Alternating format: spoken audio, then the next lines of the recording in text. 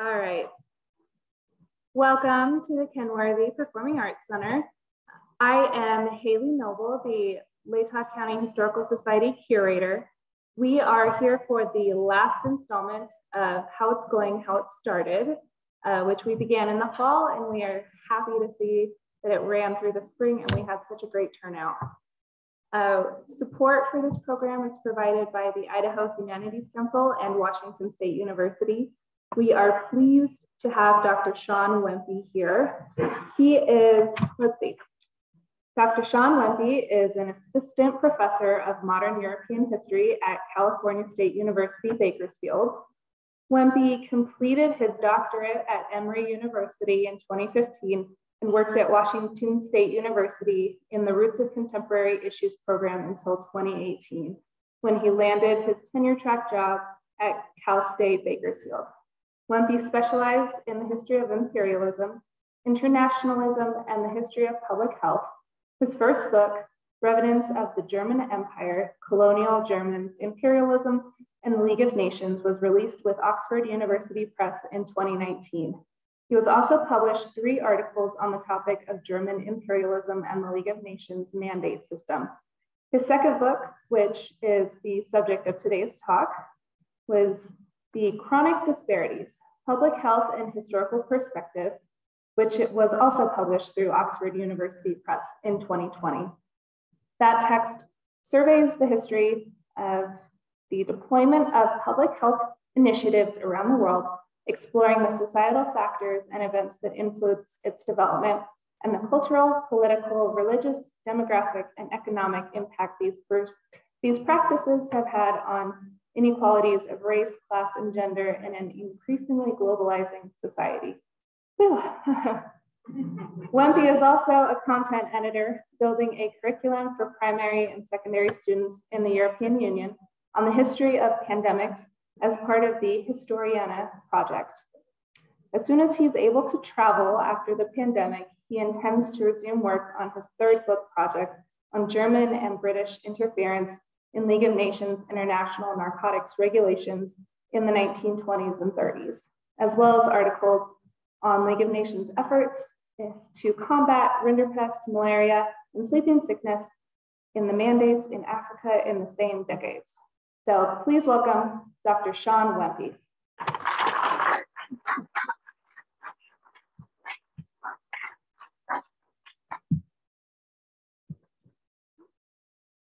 Thank you very much for that lovely introduction. Um, welcome everybody. Uh, thanks for coming out to the Kenworthy. Um, as Haley mentioned, um, I got my doctorate at Emory University. Those of you don't know, it's in Atlanta, Georgia, and it's right next door to the CDC uh, which kind of started this early love affair with public health in addition to my history interests, as well as some experiences there, like being put on a ventilator during the last pandemic in the 2009 flu, and then experiencing the Ebola controls that Emory was a part of, trying to treat patients there. So I developed a real passion for this subject. Uh, and one of the things that became really apparent over the years and what all of us have experienced in the last two years is that not only in the history of public health, but specifically the history of pandemics, um, any inequalities in a society get pretty exacerbated in those circumstances. Um, so society's pre-existing conditions get worse when a pandemic emerges. And that's sort of the subject of tonight's talk um, that I'm gonna go over with you tonight. And apologies, I'll be mostly glued to the platform to stick near the mic. Um, so one of the big things that I always tell my students, and I want members of the public and everybody to, to know about pandemics is the typical way we view them as the myth that pandemics are equalizers, that they impact everyone the same way, rich, poor, young, old, disease doesn't care. It's like this Bruegel painting where everybody's dead or dying in the streets. That's largely sort of a Hollywood or mythologized version of pandemics. Uh, pandemics are, by their very nature, social, which means everything about them exacerbates things that are already going on in the society. Um, so those who are experiencing the most inequality and the most disparity in a community, they're going to experience the pandemic in a very different way. It's going to be an amplification of what they're experiencing. Uh, and that's true for a lot of different inequalities in society. Some examples here, and the one I'm going to focus on primarily today is racism during pandemics uh, with historical examples, but this is not an exhaustive list, but there are some examples here. Racism is one uh, that pandemics tend to exacerbate. I'll go into more detail later. Ableism, so preferences for neurotypical, physiotypical, uh, folks without pre-existing conditions. There's a lot of prejudice against those who don't have that benefit in a pandemic, and their situation is also made worse during a pandemic, typically. Uh, ageism, so we heard a lot early on, oh, the pandemic's only affecting people who are over a certain age, uh, which was clearly a sort of discriminatory mindset as if those lives were valued somewhat less. As a result, it was used as a calming mechanism. And that's common during pandemics as well. Gender disparities run rampant in pandemics, from societal expectations to sometimes disparities in who's impacted by the disease or access to healthcare. Depending on the disease, homophobia and transphobia can be an issue, such as with diseases like HIV. Um, stigmas surrounding those communities can emerge and be uh, reinforced and exacerbated. A big one that we normally don't think about too much because we tend to think of it as a separate issue is food insecurity. But given the last two years experiencing all the supply chain disruptions that we've faced, um, food insecurity is something that's definitely exacerbated by pandemics uh, whether it's because of the controls uh, put in place to control the disease or because of a loss of labor pool, uh, famines can frequently go hand in hand with pandemic, and that can be a major problem. And lastly, economic inequality is another example. Again, this list is not exhaustive, uh, but you can probably think of some examples of all of these in the last two years having lived through a pandemic.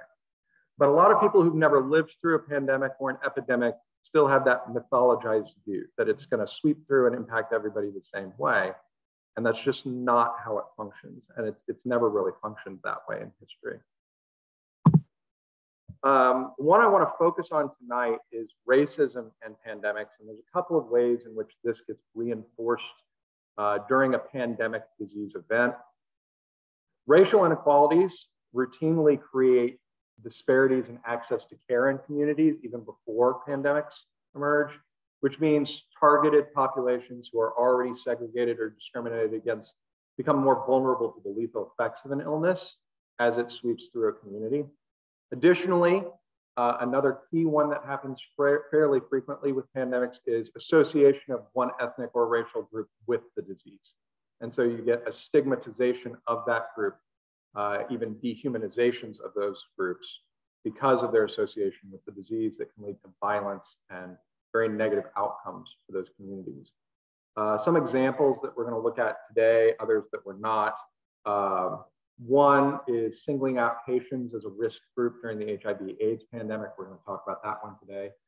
Uh, one that strikes a little bit closer to COVID is the association of Asian populations with the 1968 flu pandemic also known as at the time as the Hong Kong flu, uh, which generated a lot of the same anti-Asian sentiments that we've seen during COVID as well.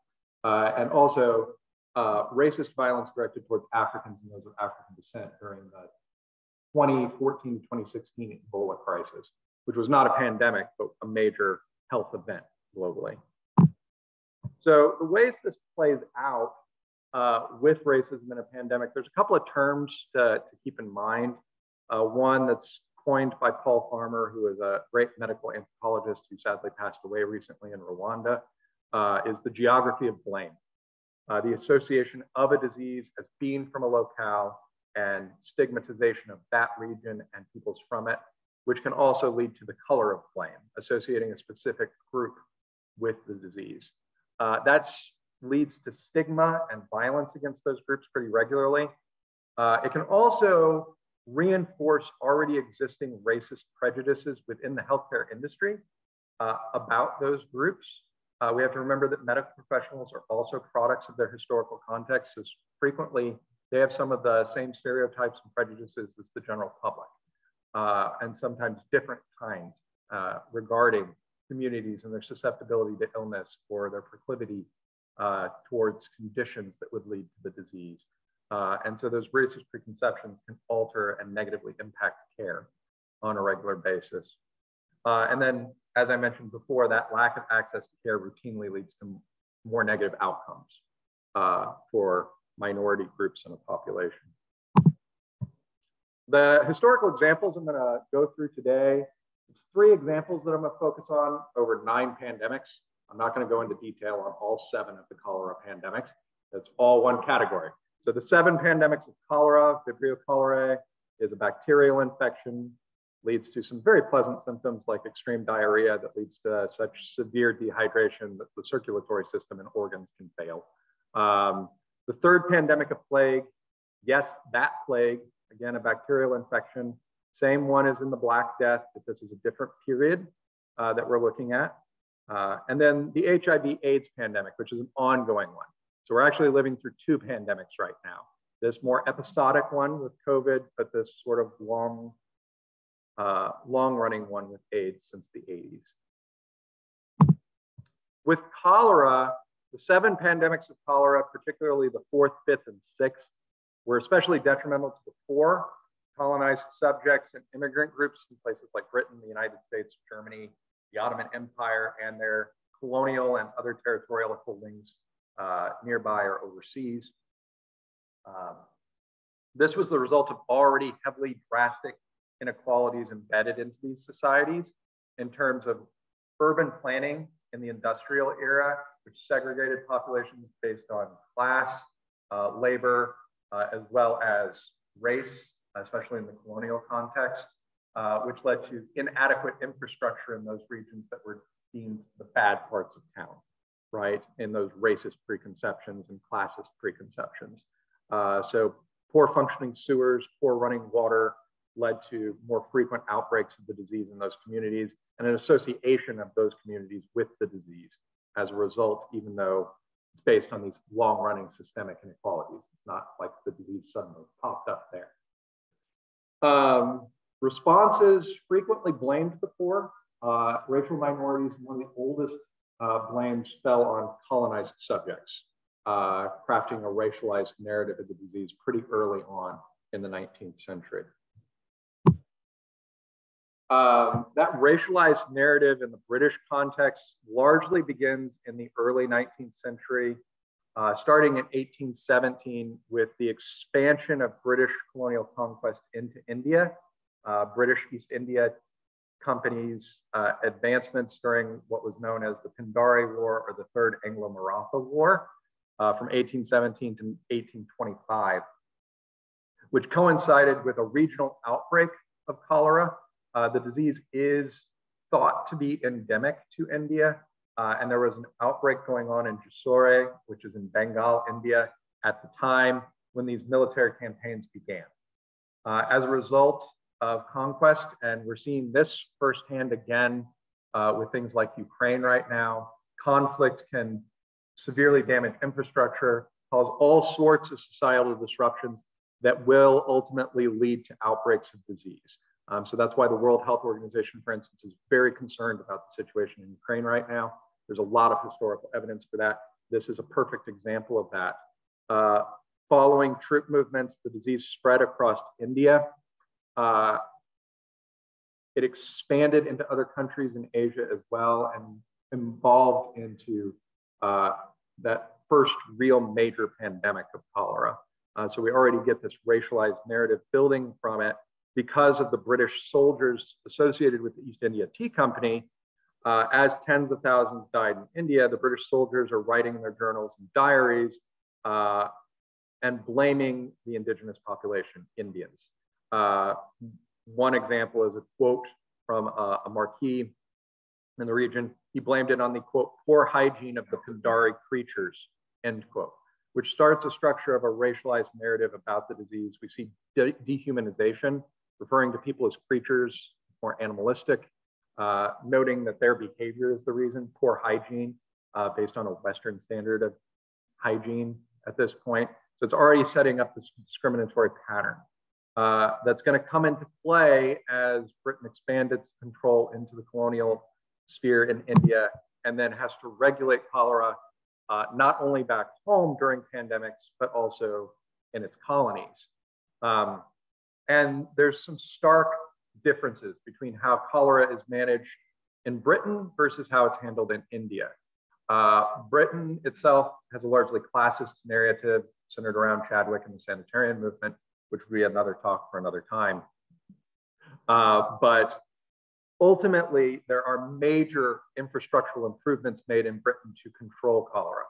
Massive changes to sewer systems, running water systems, uh, and protocols put in place to control outbreaks of the disease in the future. These same techniques are not put into place in India. Uh, the rhetoric of the British colonial officials when they're pushed by British uh, doctors or Indian medical trainees who are not allowed to be full doctors for quite some time in the colonial realm, but then eventually do. Uh, when those individuals argue to the colonial officials, we need to engage in some of these same infrastructure improvements to control the disease in India. Uh, those running the colony poo-poo that and say, no, the disease is, quote, unique to India it is due to, quote, local influence, end quote, and there is nothing we can do about it as a result. So they use it as a cop out uh, to avoid the expense of uh, modifying the society in a way that would curtail the disease. There's also a commercial motive because one of the protocols that would be put in place uh, that is internationally pushed for, especially after the Istanbul Sanitarian Conference is quarantine and locking down ports to cease the spread of the disease. India is the jewel in the empire. It's one of the most profitable ones. That's out. Uh, there are health societies in India that are tied in, in Britain that are tied to investment in India. They poo-poo those uh, recommendations on a regular basis. Um, government officials also poo-poo it.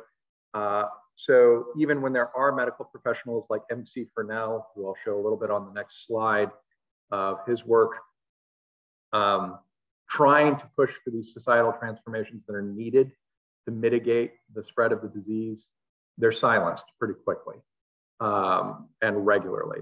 So true relief does not really come until after independence with the introduction of, at first, very simplistic infrastructural changes like water pumps like Mark II and Mark III, uh, which supply a more ready stream of clean water. Um, and other changes that'll come in the form of aid packages and medical improvements over time. Uh, seen here is a very long quote. This is a, um, a note that MC Furnell publishes uh, speaking out against British colonial government's refusal to address the real source of the problem. And he talks about how many times he hears people say, Can nothing be done to solve this problem? You can see that in the quote over there. And he says, I routinely answer, Yes. If the authorities would see that the people were provided with pure and uncontaminated water supply, the cholera would disappear from India as it has many parts elsewhere. Uh, and so he seeks to try and encourage people to engage in this um, but every time he runs into this argument that cholera is not spread by human intercourse or contaminated water, but is due to, quote, local influence, by which they mean it's indigenous to India, Indians have cholera, nothing we can really do about it. So again, it's a cop out to avoid it by pegging the disease with this group. This also takes place in the United States, even though cholera deaths nowhere near what India is going to face in these pandemics. Uh, it also faces a large number of waterborne illnesses like typhoid, dysentery uh, on a regular basis. And often, uh, one of the standards for Americans is to blame disease on immigrant populations. Uh, we've seen this pattern play out in our own lifetimes, many of us on a regular basis, uh, seeing political pundits make such commentary uh, and politicians themselves. But it, has got a long tradition here, as evidenced by this quite famous political cartoon, which is ironically also uh, developed by an immigrant, but an Austrian immigrant, uh, with an antagonism towards Eastern European and Southeastern European uh, migrants to the United States. You can see that the figure, which is basically an anthropomorphism of death, uh, has cholera written on his belt. Uh, is dressed in a stereotypical Southeast European garb bridging Ottoman and Eastern European. Uh, and it says the kind of assisted immigrant we cannot afford to admit. Uh, now, there is some association of the British with this disease uh, because of their refusal to engage in blockades ports and quarantine of ports, but there's still this huge racist anti-immigrant message as a component here. Um, this xenophobia is, be, uh, is a part of a much larger pattern of blaming immigrants for disease, especially groups like uh, Chinese, Japanese, Korean migrants, Jewish migrants, Eastern European migrants, uh, and Mexican migrants uh, that leads to some pretty horrific policies, especially at places like the southern border, where these individuals will be forced to take kerosene baths uh, before even being allowed to enter the United States as a way to rid them of any pestilence. Uh, I don't know about you, but bathing in kerosene does not seem very pleasant and is essentially a form of torture, I would say. Um, this has persisted well past the 19th century. Uh, as I said, we still see this on a regular basis. When there was all that talk of that massive caravan uh, coming to the border, they were bringing with them all sorts of deadly diseases. And then, even though COVID was more deadly uh, in the United States because of our own behavior, there's a lot of rhetoric about immigrants being the cause of COVID coming into the country. So it's a routine pattern in, in US history that seems to come up, especially with disease. Um, the next pandemic I want to talk about, we're getting away from cholera now, and we're going to talk about plague. Uh, the third pandemic of plague uh, lasted from 1855 to 1945. What we think of as the Black Death was one episode within the second pandemic plague. Uh, this one is the first time that plague reaches uh, North and South America uh, in the New World, and now is still endemic in rodent populations in California, where I came from. So, joy. Uh, lots of little plague carriers. That's why I like coyotes, they eat them. Um, so, uh, you can see here, uh, there's an association, this, this is coming from outside. And that makes sense because the disease hadn't existed in the New World yet. Definitely coming from outside. This is a still from a 1940s educational film about the plague spreads to America. Unfortunately, no copy of the film exists, but we do have descriptions of other slides. Uh, this slide, uh, the next one in the animation contained racist caricatures of various Asian faces, which unfortunately that one was destroyed. That would be a much better still to show here, but that one does no, it no longer survives. Um, the suspected origin of the pandemic, its starting point this time was Yunnan, China, which led to a lot of unfair associations of the disease with Asian populations around the world. Um, Chinese and Japanese, as well as Korean immigrants, were already facing a fair amount of discrimination in places like Europe and the United States, largely due to already existing stereotypes and prejudices, uh, especially those relating to the opium trade uh, which was again another unfair association at the time uh, with that group that had led to a lot of very racist urban planning and very harsh immigration policies in these areas, leading to these populations largely being confined to sections of town that became known as Chinatowns that had poor infrastructure, uh, less than subpar housing, uh, and frequently had situations where there was an influx of rodents.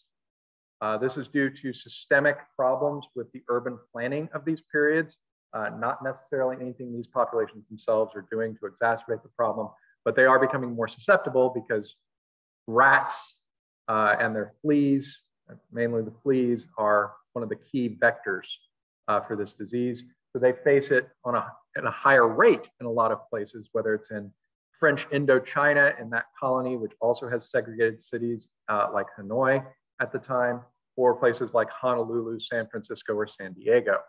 Uh, this leads to a lot of violence against these populations, evictions, uh, beatings, and then also efforts by public health officials themselves to clean the area of pests, uh, frequently through fire, uh, burning derelict structures. Uh, and so uh, one such example is in Honolulu, what was proposed as a controlled burn to remove rubbish uh, that had led to an influx of rodents, led to a 38 acre conflagration that took out most of Chinatown and Honolulu and beyond. Um, at the time, it's indicated this may have been an accident, but then there's others, other documents that indicate that even once they knew the fire was out of control, officials said, let it burn. Uh, and no effort was made to contain it until it started to bleed into other areas, wealthier areas, whiter areas of town. Um, and this led to a lot of shift in property uh, over time and uh, Chinese migrants moving away from this city to other areas.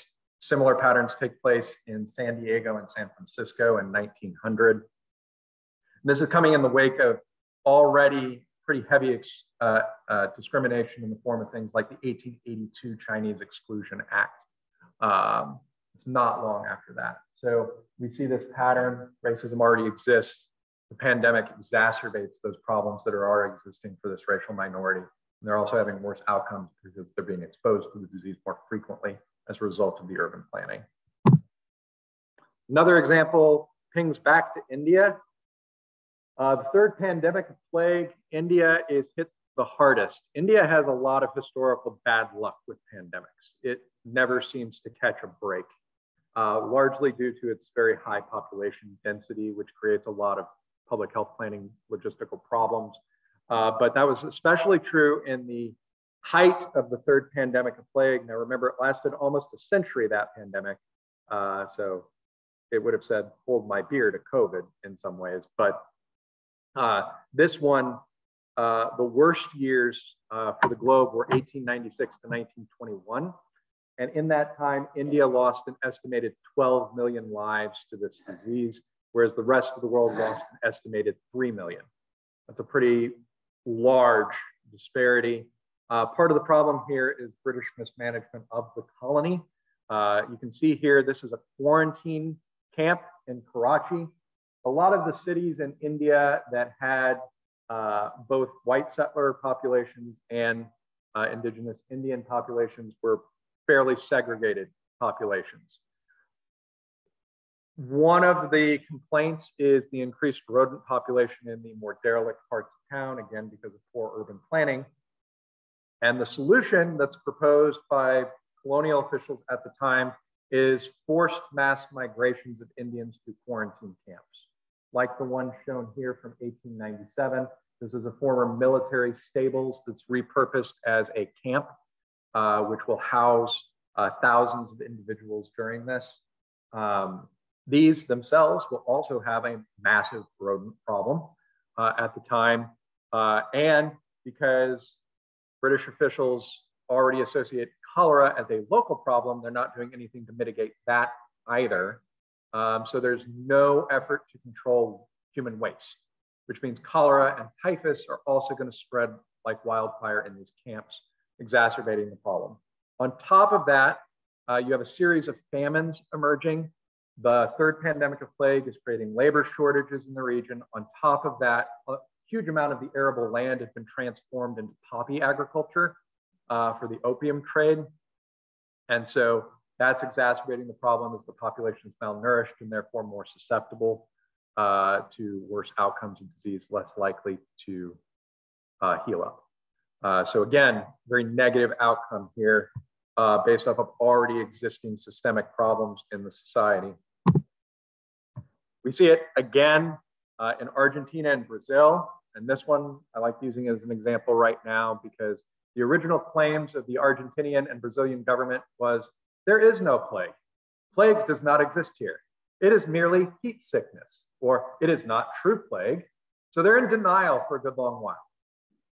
But then, once they can't deny it anymore, uh, they start pinning it on Afro Argentinians and Afro Brazilians. These societies are heavily segregated between a largely white European descent community in major cities like Rio um, uh, and a darker Afro-Brazilian or Afro-Argentinian or mixed race population in other parts of the city. The same disparities and conditions that we see in the Indian, colonial planning, the French Indochina colonial planning in Hanoi, the US with the Chinatowns exist here as well. These are the more derelict portions of town. They're already subject to a fair amount of increased policing uh, in this region. Um, and they take it to uh, an extreme during the pandemic. So they have different protocols for different parts of town. Movement of Afro-Argentinian and Afro-Brazilians in both states is restricted, um, whereas the white wealthier populations can move about the city freely. Uh, so this hurts their income. Um, their houses are being torn down, burned.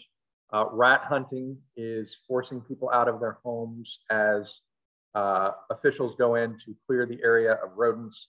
Uh, if they resist to these, they're beaten. And this leads to a lot of distrust with government and public health officials in these cities. As a result, this leads to even more negative outcomes for this population in both uh, nation states when a vaccine is deployed, Haffkine's vaccine, uh, which is a no longer used vaccine for plague. Um, doesn't have a great success rate, but it's one that has some moderate success early on. It's offered and then mandated for this population and this population alone. But they refuse to take the vaccine because they don't trust these officials anymore. Uh, and then when they resist the vaccine, they are beaten uh, and imprisoned and confined. Uh, and so even more negative outcomes emerge as a result of that loss of trust in government and public health officials because of the already existing racist structures in the society. The last one I'm going to talk about tonight is HIV AIDS. We tend to associate this one with one of the other big stereotypes that emerges in the 80s, uh, the negative attitude towards gay men and homosexuality uh, in this period largely driven by the Reagan administration and a lot of other communities in the United States and abroad uh, during this time period. Um, the first confirmed cases at the time that they know about are in Los Angeles and New York in 1981. They find other cases that predate those later retroactively, but at the time these decisions are being made, that's what they know as the point of origin, is these two major US cities. Yet, the following year in 1982, a massive outbreak occurs in a Haitian migrant community in Miami, Florida. Florida. Um, this uh, ultimately leads in 1983 to the CDC developing what it calls its four H's uh, as the risk groups for um, HIV AIDS, who's most likely to have it. And they label it as the four H's, homosexual men, heroin addicts, hemophiliacs, and Haitians. So we're gonna focus in on that last group. Uh, blaming Haitians uh, is building off of a already long running stereotype of the island as a promiscuous, promiscuous sexual paradise, which had been built up in the tourism industry in the United States, objectifying Haiti for a number of years. Uh, and so that's building in uh, there's claims that there's a quote thriving gay culture on the island, and that's why the disease is there. And then there's assumptions and arguments by medical professionals in medical journals before these articles even get peer reviewed, they're published, arguing that the disease originated from Haiti. And these are coming out in the 80s. These doctors are claiming that it emerged as a result of the quote primitive island's history of voodoo, end quote, uh, quote, the ingestion of pig blood, end quote. And that's trying to explain how it moved into the human population. Uh, so we get a lot of major stereotypes, uh, racist images of this region and people from it, uh, labeling them as a risk group and accentuating already existing stereotypes and prejudices in the community. Um, American portrayals of Haitians accusing them of promiscuity and deviancy uh, emerged en masse uh, and then portrayed this group as a threat to public health. Uh, Haitians didn't take this quietly. They pushed back, uh, both on the island nation of Haiti and also immigrants in the United States uh, were quite angry at the racist caricatures in the US media that portrayed them as this is a quote, uh, scantily clad black natives dancing frenetically about ritual fire or Haitians with AIDS as illegal aliens interned in detention camps, end quote. So very negative portrayals. Um, obviously, Haitians do not fit that image or stereotype. Uh, and so they were quite angry and pushed back. And some even go so far as to suggest that uh, they get so distrustful of public health that they start engaging in conspiracy theories uh, that the US introduced the disease as an imperialist plot. So that's another thing that can happen with these racist stereotypes bleeding into the community, creating so much distrust for public health as it uses those preconceptions to make policy decisions. You get more susceptibility from those groups to disinformation, which is going to result in more negative outcomes for those groups and not do anything to ratchet down the discourse and the dialogue to get to a more productive uh, public health mitigation strategy. Um, you can see here a protest uh, in 1990 uh, about the ban on blood donations from Haitians, uh, which still is partially in effect. Uh, it's been rescinded and restored and rescinded, restored numerous times. Uh, and it's all dating back to 1983 uh, with this. Uh, this gets really bad in the United States. There's a fair amount of violence against Haitian migrants across the country, uh, especially in places like New York. Uh, employers are firing Haitian employees from their jobs. Landlords are evicting them, concerned that they're spreading the disease in their tenements. Uh, beatings occur on a regular basis. Federal and state penitentiaries start segregating the populations in the prison. Uh, as a result, we're resulting in worse conditions for prisoners of Haitian uh, background uh, as they get less food, less medical care during those segregated periods in the prison. Uh, some examples of vandalism and racism coming into play in 1983 Brooklyn, I'm not going to repeat some of these words, but Haitians equal blanks with AIDS. Um, quote, hire a Haitian, help spread AIDS, end quote. Quote, there were no AIDS in the USA until the illegal criminal Haitian dogs came, end quote. So some pretty hateful uh, xenophobic language uh, that's getting much more violent in its rhetoric uh, over time. It gets so bad that by 1984, in New York, they had to establish a special commission, uh, the AIDS Discrimination Unit, to address a devastating number of dis discriminatory practices and hate crimes against the risk groups, uh, especially against gay men and Haitians in New York um, that had gone through several uh, reiterations. Uh, Haitian children were being beat up. In at least one case, one was shot by 1984 at school. Haitian store owners uh, had gone bankrupt as their businesses failed and Haitian families had been evicted from their homes. In 1987, uh, the Helms Amendment uh, was introduced to supplement an already active executive order from Ronald Reagan in 1981, Executive Order 12324, which had allowed the Coast Guard to forcibly detain and deport Haitian migrants. Uh, what was added to this was HIV, AIDS, as a list of diseases that precluded immigration into the United States, a restriction that remained in place for more than 20 years. Uh, so over the next few, several administrations, uh, Haitian immigrants were forcibly detained and sent to places like Guantanamo Bay. Uh, this is an image uh, of Haitian immigrants detained for HIV positive status in Guantanamo Bay. Uh, this image is from 1993, so under the Clinton administration. So it starts under Reagan, it doesn't end uh, for quite some time. Uh, by 93, there were 215 HIV positive patients held in Guantanamo Bay, along with 52 of their relatives and dependents. Um, all this despite the fact that by 1985, the CDC had already reversed its decision about Haitians as a risk group. By 1985, they dropped patients from the 4H group as scientists were, quote, no longer able to justify including them on statistical grounds. In 1985, of the total 9,405 cases in the US, only 285 were Haitians. That's a very small number to label them as a key risk group statistically. Uh, accounting for less, uh, around 3% of all reported cases.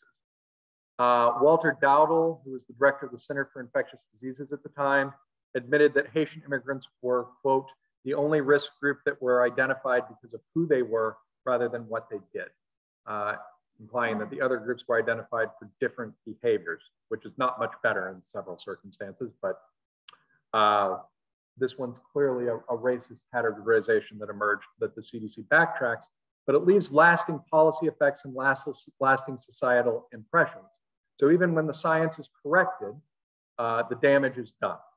Uh, if it was already founded on a preconception that was flawed, once it gets out to the general public, you can't put the cat back in the bag. Uh, it's going to keep running rampant. Um, and with that, I will probably leave it there to leave time for questions rather than dive in with some more examples of the other types of uh, historical examples of problems exacerbated by pandemics. Uh, but I'll open it up now to, to questions. Uh, if anyone has one uh, or two, um, and I'm happy to answer those. Um, and Haley, is it okay to move away from the mic a little bit for the questions? Oh, thank you. Hopefully I didn't break that. No worries. Um, and then if we do get questions from the audience, if you could repeat them so then people could hear it yeah. in the computer. Any questions? Yeah. Uh, uh, yes and no. Uh, our health is actually about considering the role of systemic inequality If you look at comments by a lot of key public health officials that uh, in the pandemic, they were talking about the problems of inequality in communities, lack of access to care, racism as key problems that need to be addressed to make sure that outcomes aren't as negative. But they're not gaining much ground because the public is not necessarily putting in a pressure on politicians who also see it differently. The public health officials have learned some, uh, but society as a whole is a mixed bag.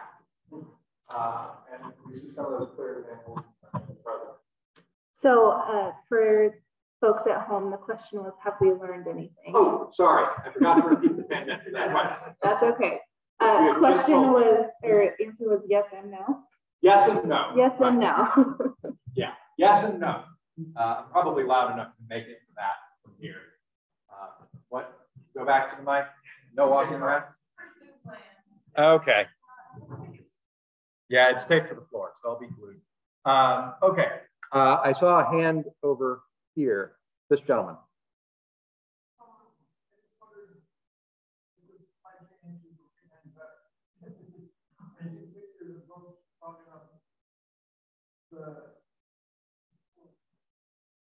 So, yeah, that's a that's a great question. Uh, unfortunately, historians are not great with predicting the future, uh, but if past is prologue, uh, societal supply chain disruptions can last a long time after the episodic event of a pandemic. Uh, it can stretch on for quite some time. And right now, we've got other variables at play too, like a massive conflict that's disrupting 30% of the world's grain. Uh, so that's going to be a major problem as well. Um, so probably not uh, if, if past is prologue on that. Any other questions? Yeah. Not, I don't want to be too facetious, but Idaho right now is the center of our current pandemic. New York Times, one page, blasting bread out of Idaho, right? You've seen it. Okay. So our image across this country right now is we're the center of COVID. You think that will carry forward into a bias and prejudice against people who live here or who travel from here? That's a that's a good question. It is going to lead to some very negative outcomes for communities that did not engage in a lot of mitigation strategies. There's going to be long-term consequences. So healthcare infrastructure in a lot of rural communities was already in bad shape. It's going to continue to be taxed further uh, by the long running conditions that COVID could create. So that's one way that it can continue to disrupt communities long after. Uh, as far as the stereotype and prejudice um, against the region, maybe, maybe not. Uh, sometimes society has a short memory when it comes to regional variations in a pandemic. Um, but it is going to have very negative consequences for those communities that were hit hard, because uh, it's going to have long-term consequences for those individuals that survived it as well, which is going to continue to strain healthcare infrastructure. Yeah, Haley. Um, from your lecture, it looks like more recent health crises, there has been increased mistrust within public health officials. Do we see that pre, you know, 1950 or whatever, or is that purely a recent thing? It's a long running thing. So the question was, do we see distrust in public health officials before 1950? Yes. Uh, so the third pandemic of plague is an example. That's in the 19th and early 20th century. Uh, but even further back, there's, there's distrust, uh, especially when the public's not well informed by public health, when public health doesn't apply the same principles or practices to all members of the population, does a differential approach. Uh, sometimes that's a, a, good strategy, but normally not, because um, it can lead to a lot of distrust in the community. So another example from the third pandemic of plague, again, involves the uh, Asian immigrant population in the United States. In San Francisco, uh, San Francisco's public health commissioner had put in place very restrictive controls for the Chinese population in town. They could not move about town freely. They could not leave town. Um, they had to get the vaccine. Uh, I'm not poo-pooing vaccines. I'm just arguing about the, the differential protocols. Uh, and so they actually band together uh, a, large amount of funds and hire a lawyer to sue to the state Supreme Court, which the state Supreme Court rules that this is violating uh, their civil rights because this was not uniformly applied. Had the city applied these protocols to all members of the population, they could have reasonably argued that this was for public safety and public health. But because they were discriminatory with it, that was the problem. And so that exacerbates the distrust in the community if they're willing to engage in that. Another problem that can emerge with public health is if there's competing narratives uh, between politicians and public health officials, or if public health officials seem too heavily swayed by politicians. Uh, that can create distrust. Another thing that can dis create distrust is confusion. Uh, so if there's a lot of back and forth uh, in decision making, that can exacerbate distrust. So public health has to be very, very careful historically in how it presents things to the public uh, in terms of policy and how it words them. It has to be very careful. So for example, recently lifting the mask mandate. There's some nuance to that that most folks seem to be ignoring, right? Uh, the CDC had implied, yes, you can lift mask mandates, but only if hospitalizations and deaths are lower uh, in your community. But we're not wearing masks in here. There's no mandate in here, right? Well, few of us are, right? Uh, my county in California, the rest of California is fine. Kern County, not so much. It has a high amount of hospitalizations and deaths. Very few people are wearing masks. Uh, and so it's, it's a very, uh, the other issue is how the community interprets the guidelines from public health can also create distrust because uh, it starts to spin into a life of its own. So it's constant game of whack-a-mole. Uh, oh, yes. Sorry, I'll need my glasses for this and then I'll get the gentleman in the back. So the question is, I'm interested in the CDC. You commented Emory geographically close to CDC. Did you have any relationship with CDC? Nowadays, I wonder about the validity of CDC as pertains to COVID pandemic and what appears to be missteps. Any comments? Uh, so I did develop a relationship with some folks who worked at the CDC uh, while I lived in Atlanta, met for coffee with them a few times, uh, got a couple of tours. Um, that's about the extent of it. We started spitballing ideas about research I was thinking about in the history of tropical medicine and mitigation there. Um, as far as the validity of the CDC, it's definitely taken a knock in recent years because of the perception that it's unduly influenced by politics right now. And that's really hurting it at the moment. Um, the other problem is um, sometimes specialists need to learn to talk to non-specialists. And that's been a real problem.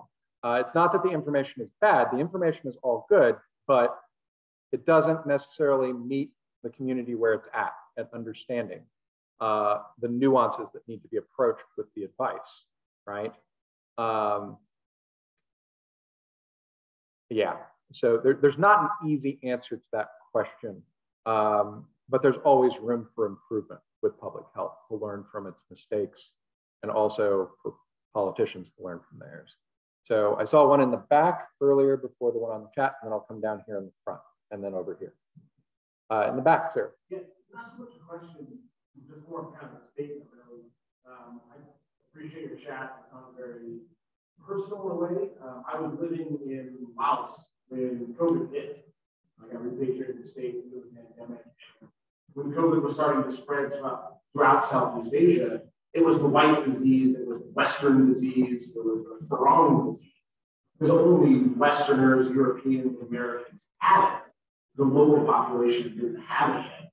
Um, I just found it interesting kind of connecting that to your presentation. The, uh, blame. Yeah, so different communities are going to have different perceptions of what the origin point is, right? Uh, and they're going to use that in their discourse and their language as well. Uh, so that's something that's going to crop up. Um, it's not necessarily an indication of uh, this not being a problem just because it exists everywhere and it has conflicting statements. It's still a problem, right? Those two don't cancel each other out. They're just different problems in different communities with the same types of stereotyping going on and the same consequences playing out.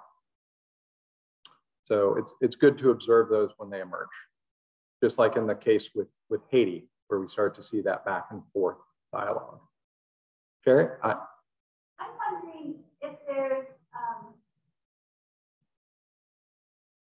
if there's any way, like, how do we prevent this from happening? Like I, you know, with COVID, things move so fast that there, and all this information, scientists are trying to come up with information, CDC is trying to come up with information, everybody's working on this, and they're trying to let get that information out as quickly as possible.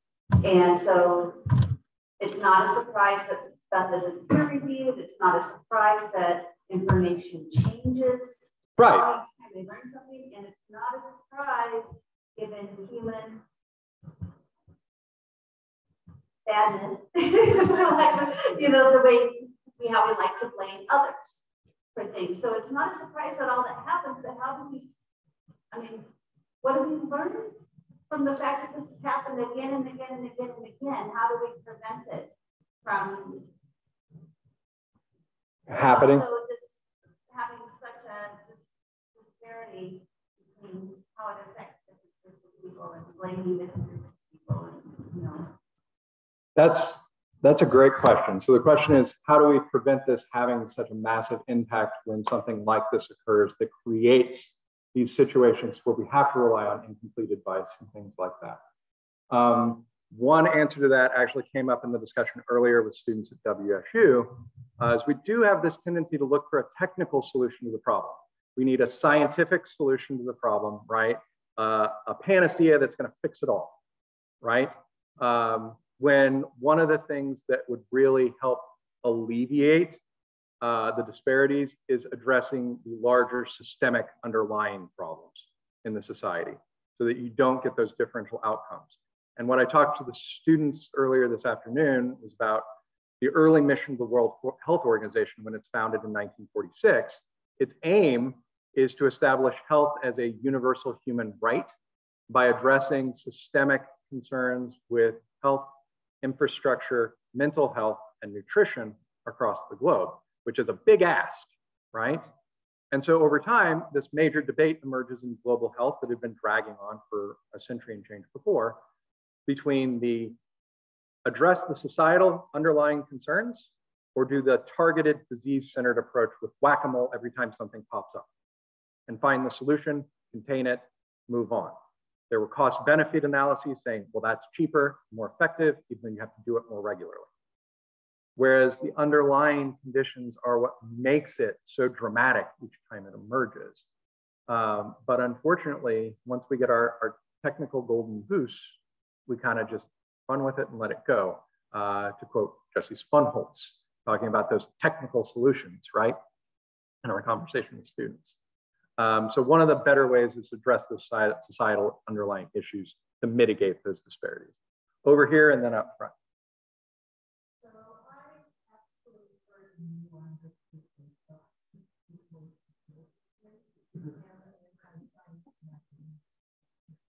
New one I've heard that I've never heard before is that behavior anyone was all that was things that were conjured that in order to just uh, pursue my own funding or something. And I stopped listening to them at a certain point about this, but again, it reminded me of is there a historical equivalent to Joe Rogan 42 that where that I mean we know there is anti-education, anti-academia So is there a historical equivalent to the, this mass movement against, you know, essentially questioning what scientists say? Okay, so basically the gist of the question for people in Zoom world is, is there precedent in history for disinformation campaigns? Big resounding yes. Uh, lots of it everywhere. Um, so you get a lot of uh, information that poo-poos the science on a regular basis, or poo-poos the response, or poo-poos people who are concerned about the disease, or poo-poos vaccine. Anti-vax sentiments are not new. They've been around for a long time. So anybody was surprised that anti-vax would be around, didn't read a history book. Uh, this is this is ongoing, and a lot of it's based on disinformation uh, throughout the years. Uh, and that you get some of that in political cartoons about the earliest smallpox, smallpox inoculations uh, with Jenner, right? You get these political cartoons where people are sprouting cow horns uh, and all sorts of conspiracy theories that this somehow bridges into bestiality if you get this vaccine that has some sort of cow serum in it. Um, so this is not new. Uh, it didn't take the form of podcasts in the past. It moved a little bit slower, but it's still there. Uh, and it's an ongoing problem. And it's something that needs to be addressed each time by responsible public health and government officials to prevent it from causing uh, major public health problems in the community. But yeah, a lot of examples. Uh, all right. So what about in the pre-scientific world? Do human beings behave more reasonably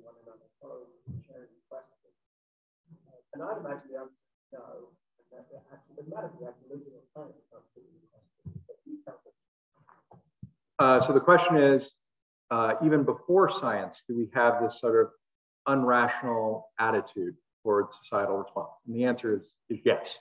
And the the pre-modern period with religious responses to disease, you still get a lot of this irrational pushback.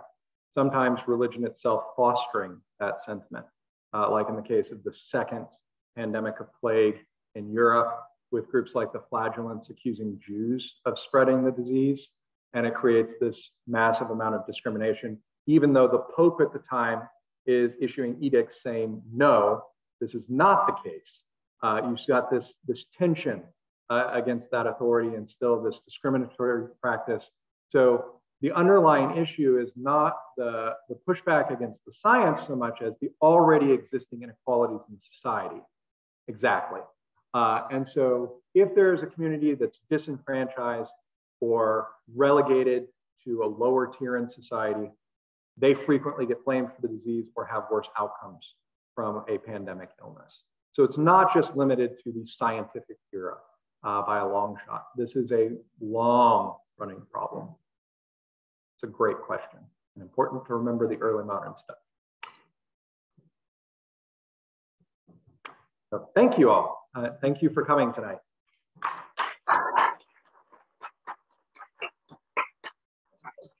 All right, thank you so much, Dr. Wempe. Thank you for showing up here in the computer and at the Kenworthy.